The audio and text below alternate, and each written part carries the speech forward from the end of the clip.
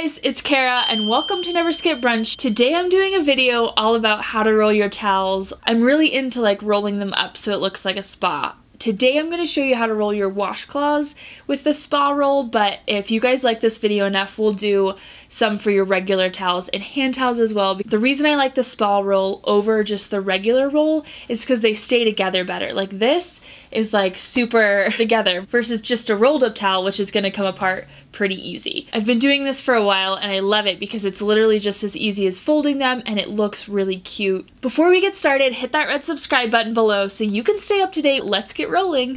So I'm starting with just a regular square washcloth. You're gonna lay it flat Pick two corners and fold them in. You want to make sure they overlap a little bit so you're getting straight edges. Then you want to flip it over. Pick either end and just start rolling. You want to make sure you roll it pretty tight.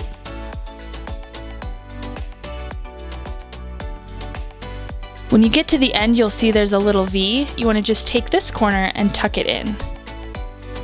And that is how you get a spa rolled washcloth.